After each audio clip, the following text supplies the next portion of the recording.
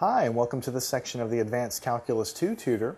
And in this section, we're going to continue our discussion of polar, uh, polar coordinates, and, and, we're going to continue and talk about the topic of polar equations.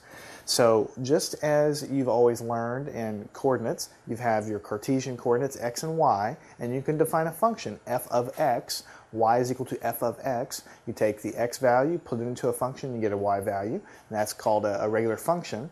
Well, now we're going to talk about functions in polar coordinates, and we're going to draw some pictures. So this is going to be mainly a, just an introductory section to show you what these pictures look like and how to, how to convert uh, formats from from polar version back to rectangular and so on and so forth when you're talking about functions that have polar coordinates involved. So just as I said a minute ago, recall, so I'll just write it down here, recall uh, this is basic stuff, what I'm going to say here, that you have y is equal to f of x, which is just some function when you have a rectangular coordinates, okay? And that function is a function of x, and that function, you know, can, can do whatever. It just looks like this, and you take a value of x in, you put it into the function, you get a value of y back, and you plot it. That's, that's what a function is, okay? So in polar coordinates, okay, in polar coordinates, we write functions like this.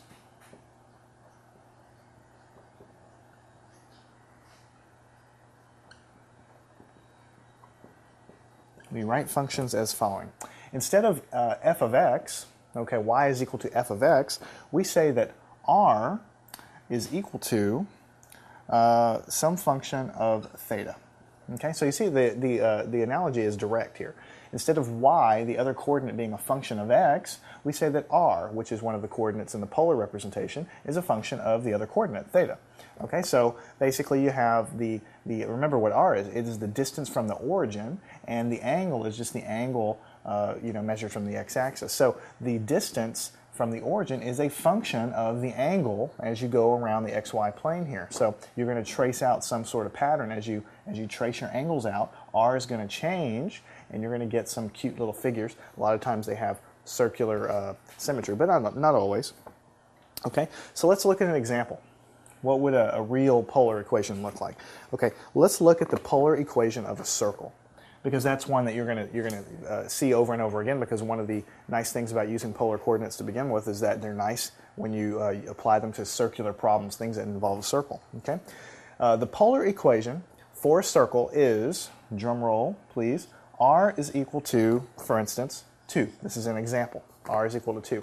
This is it, ladies and gentlemen. That is the equation of a circle. It's extremely simple. You see uh, what's going on here, okay? Let's go ahead and look at this and just see if we understand what's going on here, okay?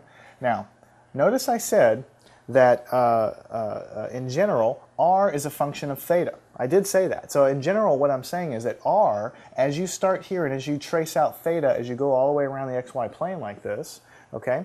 Uh, r is going to change. It's going to be a function of theta. As you sweep theta, r might be this big, and as you increase theta, r might get bigger and smaller and bigger and smaller, and you trace out a function, right?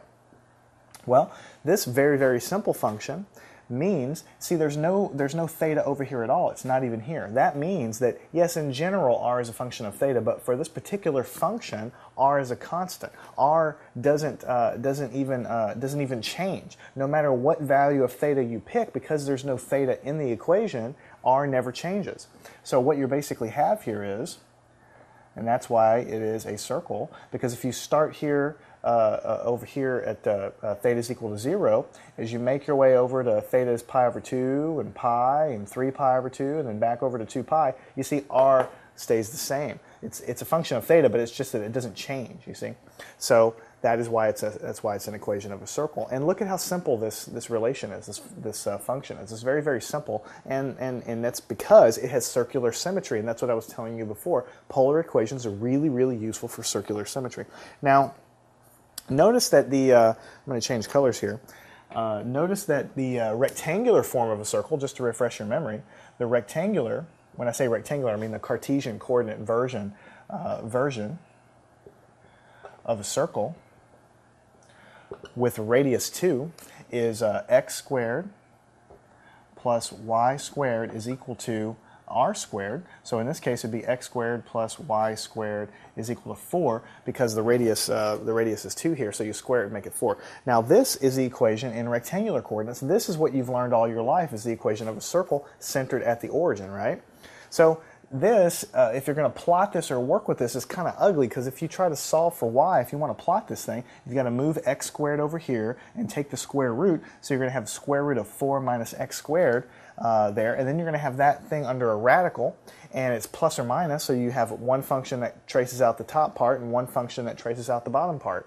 So you see, it's just not very simple to work with. You start taking derivatives of this thing. If you if you solve for y and start trying to take a derivative, it's going to be an ugly derivative. It's just very friendly to work with, and that is simply because you're using a grid, which is what x and y is, a grid system. That's what x and y is to describe a circle. So it just doesn't lend itself very well to it. We've gotten used to it because this is how you're introduced to it, but it just isn't very, very nice. Now, the polar representation, by its very nature, because it's based on angles and radii, okay, it is basically a circular system. So that's why the function uh, of a circle is so simple. And if you start manipulating this, taking derivatives, doing other complicated things uh, with, with functions this simple, it becomes very, very easy. And that's why it's so useful. Uh, and that's why you need to learn it. So